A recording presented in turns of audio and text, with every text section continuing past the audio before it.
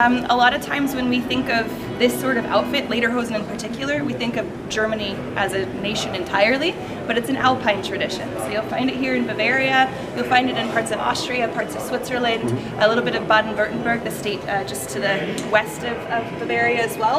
Um, yeah, it's really only down in this region. If you go to Berlin, you're not going to see anybody wearing this. If you go to Hamburg, it's not going to happen. They have their own traditional dress. So um, it's pretty great. Uh, the dirndls, they're three pieces. There's a dress, there's a blouse, and there's an apron.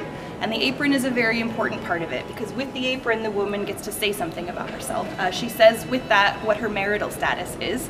Um, it depends where she ties the, the bow. If she ties it on her left hip, she's saying that she's single. If she ties it on her right hip, she's saying that she's married. There's no in between. There's no like it's complicated or we're working on it or